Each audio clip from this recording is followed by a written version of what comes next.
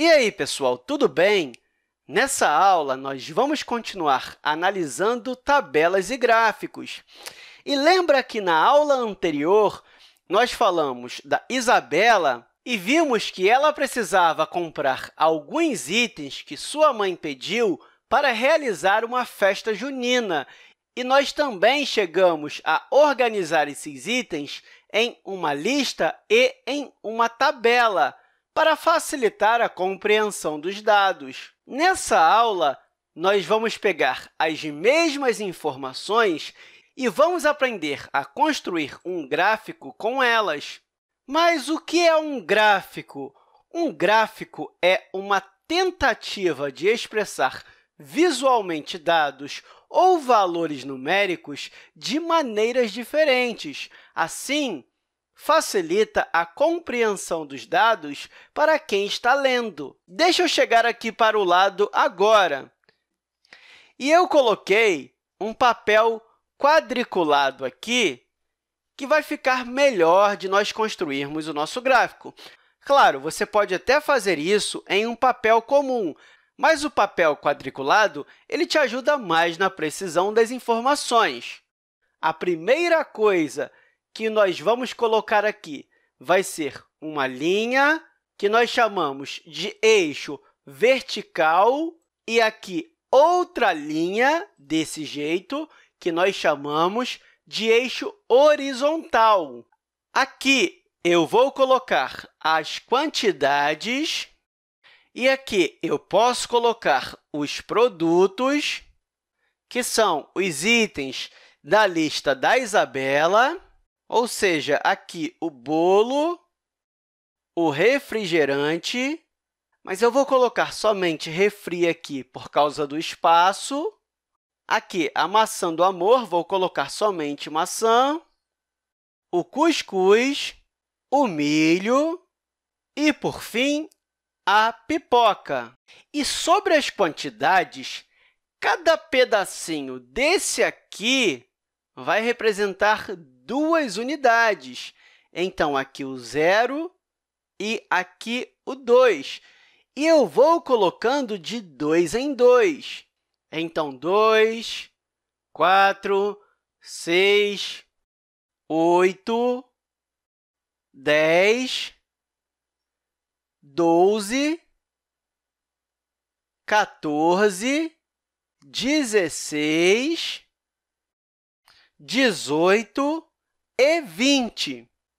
E se eu olhar a minha tabela, eu sei que o bolo tem duas quantidades, então eu posso criar uma barrinha para representar essa quantidade no meu gráfico, mais ou menos assim. Porque, olha, a barrinha está representando o que está indo em duas quantidades de bolo. E o refrigerante?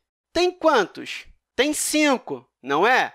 E a barrinha de refrigerante vai ter que ficar entre 4 e 6, ou seja, na metade, que é o 5. Ou seja, está nessa metadinha aqui. Deixa eu até colocar o 5 aqui.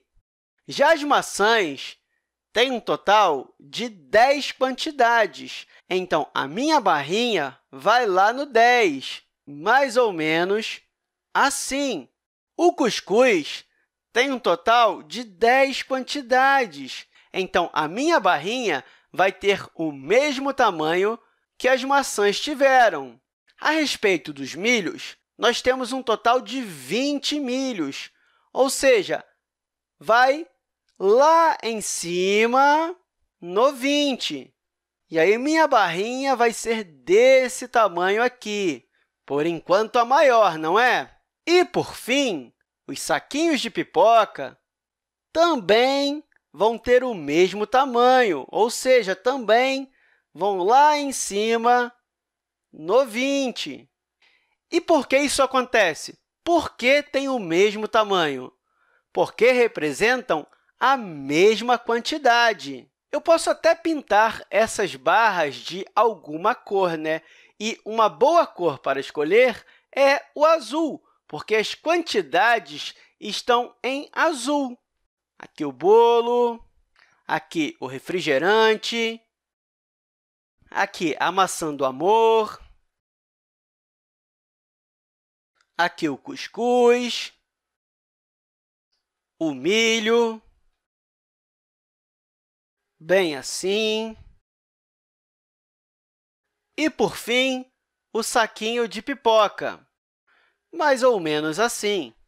Então, azul são as quantidades de cada item que a Isabela vai utilizar. E com o gráfico, fica mais fácil responder quem tem mais quantidades e quem tem menos quantidades. Na aula anterior, eu te perguntei qual item tinha em menor quantidade. E nós respondemos que era o bolo consultando a nossa tabela. Mas, se você perceber, fica muito mais fácil olhando para o gráfico, porque, rapidamente, você bate o olho na menor barrinha e você consegue ver que o bolo tem em menor quantidade. Agora, em maior quantidade, nós temos tanto essa barrinha aqui quanto essa aqui, ou seja, a barrinha do milho e da pipoca.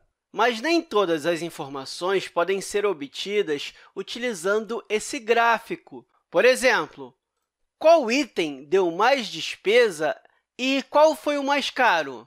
É algo que nós não conseguimos obter com esse gráfico, porque ele é um gráfico das quantidades. Já nessa nossa tabela, nós conseguimos essas respostas, enquanto no gráfico somente as quantidades. Mas, claro, eu poderia fazer um gráfico com outra informação, mas esse nosso aqui é só das quantidades, e nós chamamos ele de gráfico de coluna. O que eu quero dizer é que nós podemos representar informações ou através de uma tabela, ou, quem sabe, um gráfico, ou até mesmo em uma lista, como nós fizemos aqui sendo que cada uma pode te dar uma informação diferente de forma mais rápida ou mais precisa. Por isso, é importante analisar os dados e ver qual representação pode te ajudar mais. Mas é isso aí, pessoal! Até a próxima aula!